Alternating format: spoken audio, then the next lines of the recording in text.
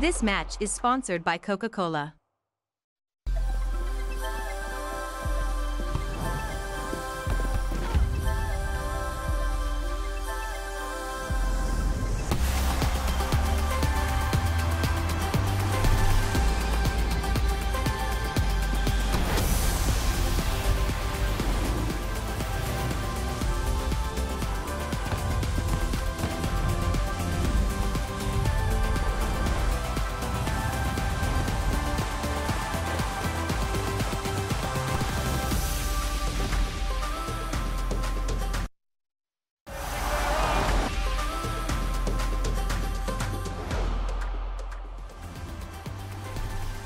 Chào mừng quý vị và các bạn đã đến với buổi bình luận World Cup nữ 2023 trên kênh truyền hình Quốc hội Việt Nam.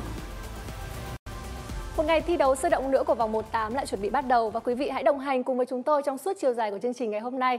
Chúng tôi xin được cảm ơn Tập đoàn TNT Group, Ngân hàng Thương mại Cổ phần Sài Gòn, Hà Nội, Tập đoàn Gilex, Ngân hàng Thương mại Cổ phần Quân đội MB, Tập đoàn Viettel, Công ty Cổ phần Truyền thông VMG, Công ty Next Media đã đồng hành phát sóng các trận đấu của giải FIFA Women's World Cup 2023 trên kênh truyền hình Quốc hội Việt Nam.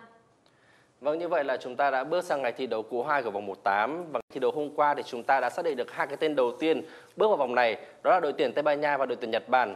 Và trận đấu đầu tiên trong ngày hôm nay là cuộc đọ sức giữa đội tuyển nữ ờ, ờ, Nam Phi và đội tuyển nữ của Hà Lan. Và để cùng tham gia bình luận trong chương trình ngày hôm nay thì chúng tôi xin được trân trọng cảm uh, uh, giới thiệu hai vị khách mời, đó là bình luận viên Quang Tùng ạ. Và thứ hai là một hot tiktoker là chị Hòa Bình ạ. Dạ vâng, câu đầu tiên thì xin được hỏi anh Quang Tùng là trong thời gian vừa qua thì V-League cũng diễn ra rất là dày đặc. Vậy thì anh đã phải uh, uh, sắp xếp công việc của mình như thế nào để có thể theo dõi được uh, gần như là gần hết các trận đấu của vòng bảng trong thời gian vừa qua? Với tôi thì công việc nó tương đối dày, rất nhiều công việc chuyên môn. Bên cạnh các cái trận đấu thì còn có rất nhiều những cái cộng trận công việc khác. V-League thì dừng diễn ra vào buổi chiều tối Ờ, và thậm chí nó còn có những cái ờ, hoạt động khác của bóng đá nam. Ờ, nhưng với bóng đá nữ chúng ta đang được chứng kiến một ngày hội lớn một cái sự kiện rất là đặc biệt. Lại còn có sự tham gia của đội tuyển bóng đá nữ Việt Nam nữa. Nên là tôi phải dành một cái lượng thời gian nhất định để theo dõi. À, bây giờ thì theo dõi bóng đá theo dõi World Cup thì nó có rất nhiều điều kiện thuận lợi. Nó khác rất nhiều so với cái thời mà tôi còn bé và mới lớn lên à, khi chúng ta chỉ gọi là tập trung quanh cái màn hình lớn thôi. Bây giờ thì hạ tầng phát sóng truyền hình nó đã rất là đa dạng à, thiết bị đầu cuối nó rất là là linh hoạt và đôi khi là chúng ta ngồi họp vẫn có thể tranh thủ xem một tí bóng đá cũng được. À, và đó cũng là một cái cách để chúng ta gọi là nắm bắt thông tin à, theo dõi các cái bước chạy của các cô gái Ờ, thậm chí nó hơi ăn gian một chút, tức là chúng ta xem highlight thôi, thì cũng vẫn là một cái cách để của ta, chúng ta có thể à, cập nhật được những gì đang diễn ra ở World Cup đấy không phải gọi là ăn gian tôi cho rằng đấy là linh hoạt. Tức là chúng ta sẽ tận dụng cái khoảng thời gian tối đa của mình. Khi nào mình rảnh thì là mình sẽ cập nhật bóng đá bởi vì là chúng ta cũng còn rất là nhiều những công việc khác nữa. Nhưng mà để có thể thỏa mãn đam mê thì không thể nào mà uh, dành cả một cái thời gian là 90 phút để xem cả trận đấu được đúng không ạ? Bởi vì là uh, hơn nữa là World Cup năm nay lại còn tổ chức vào ban ngày rất là nhiều. Thế nên là đúng là cái thời gian mà chúng ta còn phải đi làm những công việc khác nữa. Vậy nên tôi nghĩ rằng là những cái thời gian như vậy chúng ta hoàn toàn có thể sử dụng linh hoạt bằng cách là uh, xem qua những cái ứng dụng rất là phổ biến hiện nay Vâng và một câu hỏi à, dành cho cô gái đang xuất hiện trong trường quay ngày hôm nay đó chính là hot tiktoker Hà Thị Hòa Bình. À, thưa quý vị là Bình Gấu mới là cái tên mà mới là nickname mà khán giả biết đến ờ, Bình nhiều hơn. Thế nhưng mà bây giờ trong trường quay ngày hôm nay thì chắc là phải nhờ Bình giải thích với khán giả tại sao Hòa Bình lại có nickname như vậy ạ?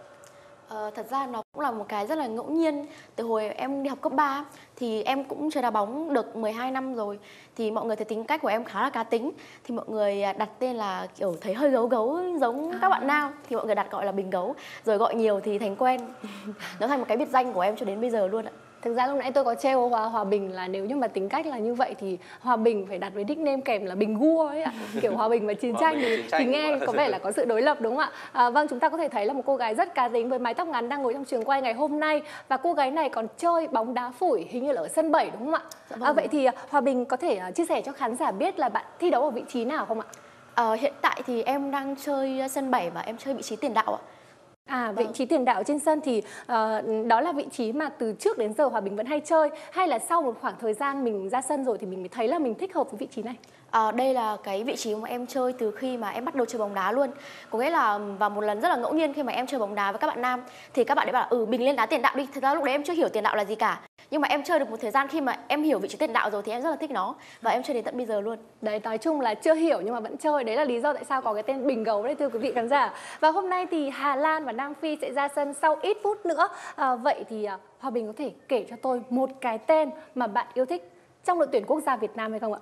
À, ờ, thật ra thì em cũng có được ờ, giao lưu trực tiếp với cả đội tuyển Việt Nam đá một vài lần rồi. Và cầu thủ mà em yêu thích nhất đó chính là chị Huỳnh Như cũng đang chơi vị trí tiền đạo.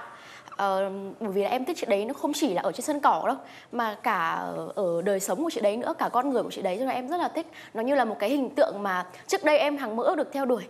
Có lẽ là Huỳnh Như là một trong những mẫu tiền đạo điển hình mà tất cả các cầu thủ nữ uh, hiện nay ờ, tất cả những bạn ờ, mà còn trẻ hơn cái thời của Huỳnh Như bây giờ là đều đang muốn hướng đến một cầu thủ có thể nói là xuất sắc nhất trong nền bóng đá của Việt Nam từ trước đến nay đúng không ạ? Có thể là sang nước ngoài để thi đấu ở châu Âu. Tất cả những uh, thành tích mà Huỳnh Như đạt bây giờ nó có thể gọi rằng là niềm tự hào của những người hâm mộ bóng đá Việt Nam. Anh Quang Tùng có thấy như thế không ạ? À, tôi hoàn toàn nhất trí với quan điểm này. Tôi nghĩ rằng là với um, sự nghiệp cầu thủ uh, mà đạt được những gì như Huỳnh Như thì rõ ràng đó là một cái điều đáng mơ ước. Uh, cô ấy chơi tốt ở giải vô địch quốc gia, cô ấy làm uh, tròn nhiệm vụ của một uh, tiền đạo đội trưởng của đội tuyển quốc gia. Cô ấy nhiều năm là quả bóng vàng của bóng đá Việt Nam, bóng đá nữ Việt Nam và cô ấy trở thành một cô gái được chơi ở một cái giải đấu chuyên nghiệp của nước ngoài với một cái một cái sự thừa nhận và tôi nghĩ rằng đó chính là cái mục tiêu phấn đấu của rất nhiều những cầu thủ chứ không phải chỉ là là riêng các cô, cô gái nữ đâu à, bóng đá nam của chúng ta đương nhiên vào lúc này vẫn đang còn có rất là nhiều khó khăn trong cái việc tiếp cận với gọi là các cái giải đấu lớn ở ở châu Âu tất nhiên so sánh giữa bóng đá nam và bóng đá nữ thì luôn luôn có một cái khoảng cách nhưng cái cái mà Huỳnh Như đạt được ấy nó là một cái tấm gương nó là một cái nguồn, Nguồn động động lực lực. là một cái cú hích để cho rất nhiều những ờ, con người Việt Nam của chúng ta nhìn thấy để mà có thể phấn đấu Vâng và chúng ta sẽ cùng trở lại với nội dung chính của chương trình ngày hôm nay, đó là trận đấu giữa Hà Lan và Nam Phi. Cặp đấu này là cặp đấu thứ ba của vòng 1/8 FIFA Women's World Cup 2023 và có thể nói là cả Hà Lan và Nam Phi đều đã có những màn trình diễn rất ấn tượng ở vòng bảng. Thưa quý- như quý vị cũng biết là Hà Lan thì đã dẫn đầu bảng E, bảng đấu mà bên cạnh đội tuyển Việt Nam thì còn có đội tuyển Bồ Đào Nha và có sự góp mặt của nhà đương kim vô địch là đội tuyển Mỹ nữa. Và trong khi đó thì với Nam Phi, đại diện của châu Phi thì nằm ở bảng G, chẳng những là lần đầu góp mặt ở vòng 1/8, họ còn phải trực tiếp khiến cho Italia phải xách vali về nước. Và trước khi đến với những phân tích và bình luận chuyên môn của hai vị khách mời ngày hôm nay thì chúng ta sẽ cùng xem là Hà Lan và Nam Phi đã chuẩn bị những gì trước thềm trận đấu ngày hôm nay. Bước vào kỳ FIFA Women's World Cup năm nay với tư cách những nhà đương kim Áo quân, đội tuyển nữ Hà Lan đã không khiến cho các khán giả phải thất vọng khi xuất sắc giành ngôi nhất bảng E. Trước thêm cuộc đọ sức với Nam Phi ở vòng 1/8, đại diện châu Âu lại đang đón nhận những tin tức trái chiều về tình hình lực lượng. Trong khi tiền đạo Linette Bierenstein vẫn bỏ ngỏ khả năng ra sân do chưa hoàn toàn bình phục chấn thương mắt cá, thì hậu vệ Stephanie van der Graat, người đã đá trọn vẹn 90 phút trong trận gặp đội tuyển nữ Việt Nam, dự kiến sẽ tiếp tục có tên trong đội hình xuất phát. Nam Phi là một đội tuyển rất đề cao tinh thần tập thể. Hãy nhìn cái cách mà họ đã giành chiến thắng trước Italia ở những phút cuối cùng, cảm xúc đến như thế nào. Họ hoàn toàn xứng đáng với tấm vé góp mặt tại vòng knock-out. Đoàn kết được cho là yếu tố tạo nên sức mạnh của Nam Phi tại kỳ World Cup lần này. Đây mới chỉ là lần thứ hai họ góp mặt tại ngày hội bóng đá lớn nhất hành tinh dành cho phái đẹp. Thế nhưng, đoàn quân của huấn luyện viên Desiree Ellis đã tạo nên kỳ tích với việc xuất sắc vượt qua được vòng bảng. Tôi mất hai ngày để trả lời hết được các tin nhắn chúc mừng qua WhatsApp. Tất cả mọi người ở Nam Phi đều dõi theo từng bước chân của chúng tôi trên đất New Zealand và Australia. Họ dậy sớm mỗi buổi sáng để xem các trận đấu. Thật mừng là chúng tôi đã có thể làm được điều khiến họ nở nụ cười.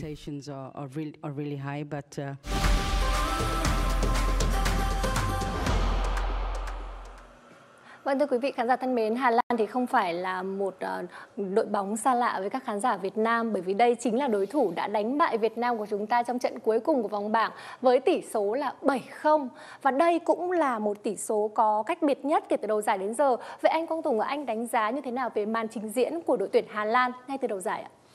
Ờ, họ là Á quân thế giới, họ là một trong những đội bóng mạnh nhất của bóng đá nữ thế giới vào thời điểm này. Ờ, và tôi nghĩ rằng là đến với cái World Cup 2023 này thì đội tuyển Hà Lan đã có một cái sự chuẩn bị rất là tốt. Họ có cách tiếp cận đó là cái yếu tố sức mạnh. Và nhìn các cầu thủ Hà Lan chơi ấy, thì chúng ta nhìn thấy rất là rõ là họ rất là tốc độ họ rất là mạnh. Ờ, họ rất là là là sẵn sàng họ sẵn sàng va chạm. Đấy đấy là những cái điều mà tôi nghĩ rằng là trong những cái năm trước đây ấy, thì ờ, bóng đá nữ nó vẫn có một cái gì đó nhất là những đội bóng hàng đầu nó còn có một cái khoảng cách.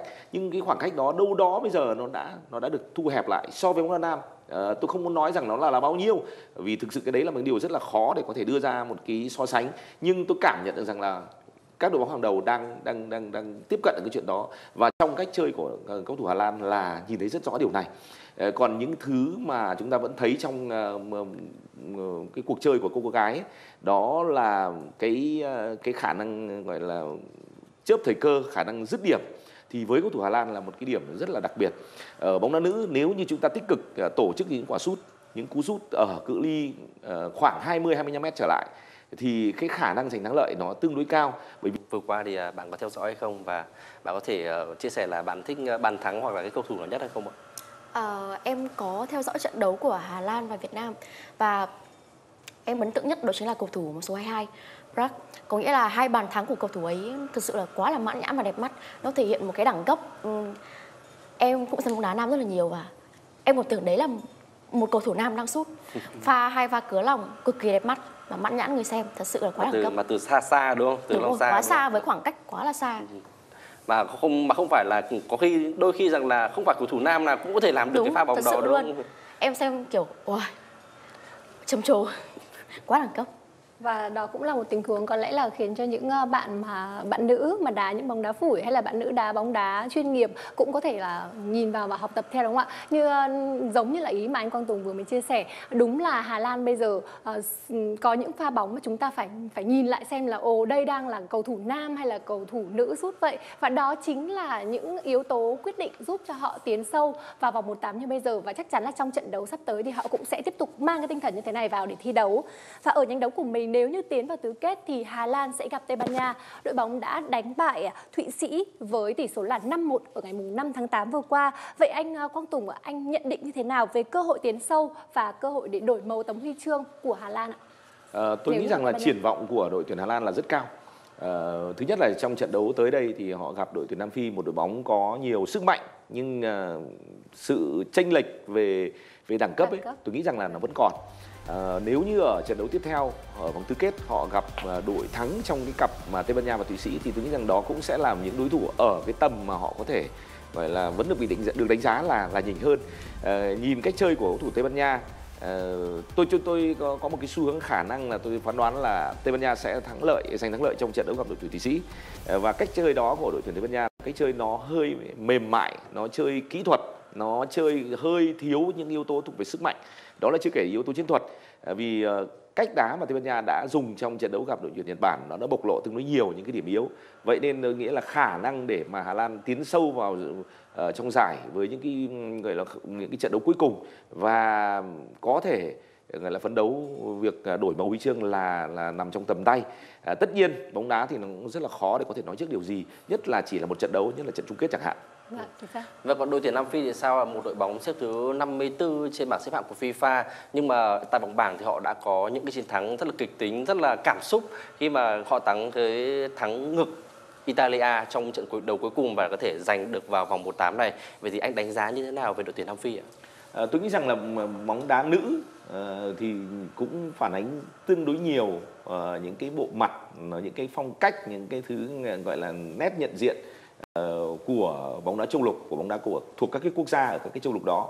Uh, Nam Phi cũng giống như một loạt những đội bóng khác ở châu Phi đến dự World Cup lần này thì họ đem đến một cái bầu sinh khí rất là là là lớn ở một cái cách chơi giàu thể lực. Uh, và bên cạnh cái sự gọi là sự dồi dào về mặt thể lực đó là một cái quyết tâm rất là cao.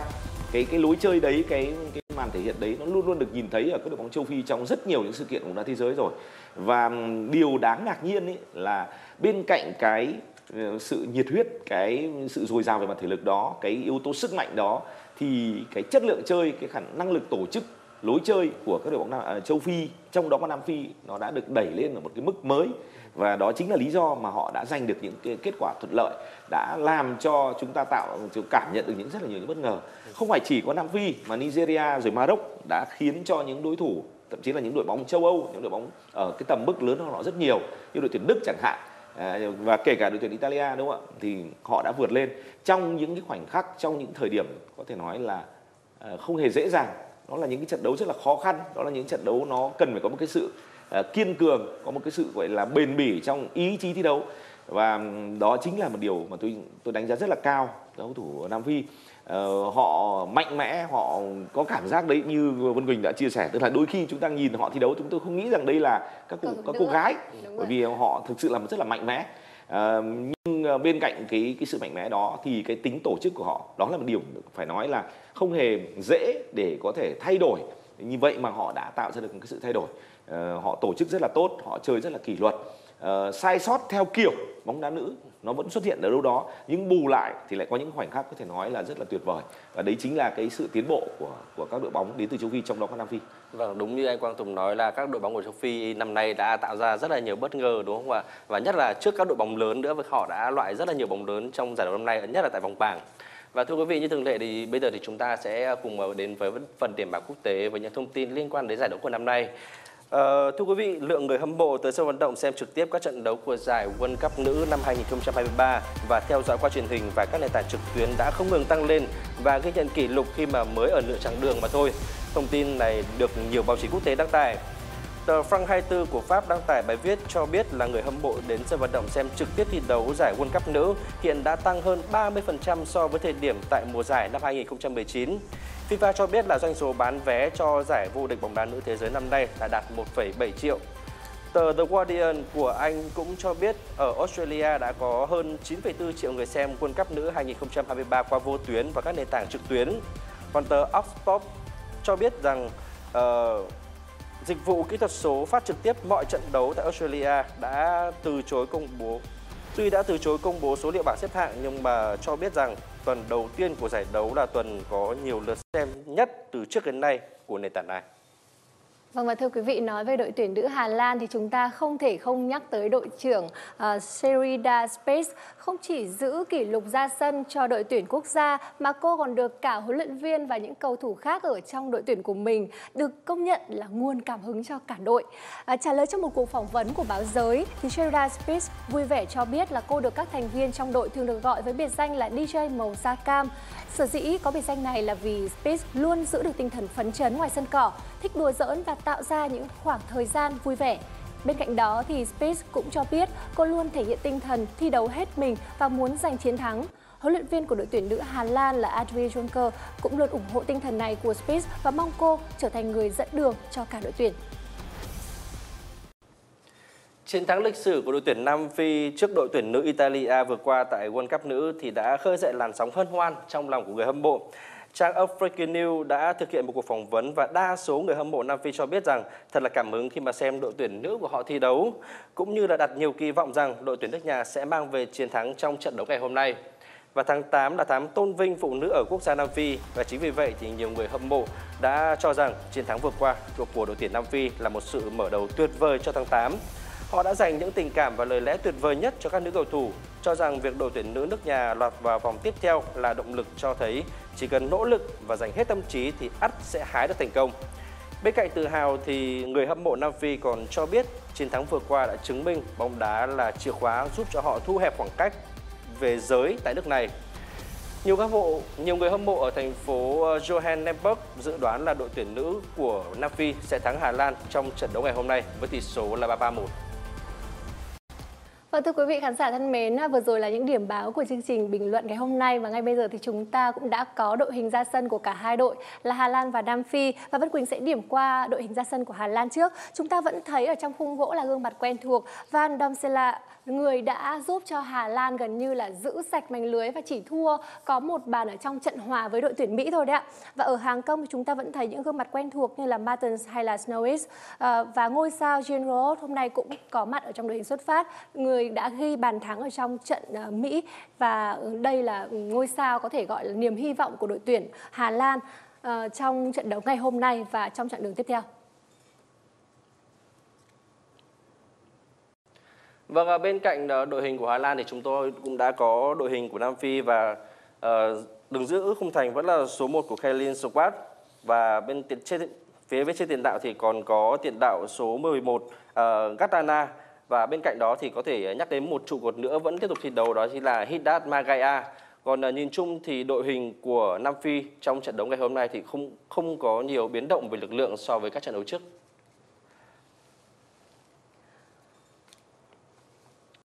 Vâng và vừa rồi là đội hình xuất phát của Hà Lan và Nam Phi. Vậy nhìn vào đội hình của hai đội bóng này thì uh, anh Quang Tùng ạ. À, và Hòa Bình có lẽ là đang có những ờ, ờ, dự đoán cho riêng mình rồi. Và chúng ta sẽ ờ, tạm thời là không dự đoán cái phần này trong chương trình đầu ngày hôm nay. Bởi vì là đây sẽ là một kết quả chắc chắn là chúng ta đều mong đợi là một trận đấu rất đáng mong chờ. Và tôi tin rằng là đây là một trận đấu sẽ giằng co của cả hai bên, chứ không thể nào là bước, bởi vì bước vào vòng knockout rồi, ai cũng sẽ thi đấu hết mình. Dù là đẳng cấp sẽ không bằng nhau, thế nhưng mà rõ ràng là chúng ta sẽ mong chờ một trận đấu với thế trận là giằng co cả hai bên, đúng không ạ?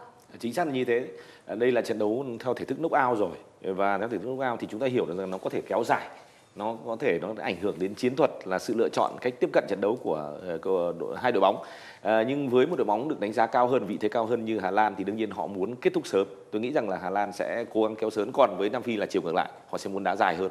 Vâng, ờ, vâng và từ hai vị khách mời cũng như quý vị khán giả thì bây giờ thì chúng ta sẽ đến ờ, ngay lập tức ờ, hiệp một của trận đấu giữa đội tuyển nữ Hà Lan và đội tuyển nữ Nam Phi và mời quý vị cùng theo dõi trận đấu ngay bây giờ.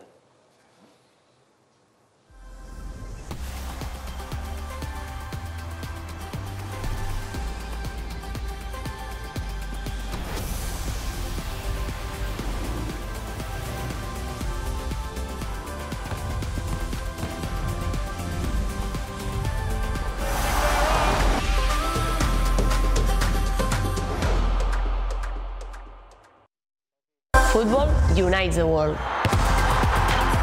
In passion, in peace, and in joy. Football unites us all.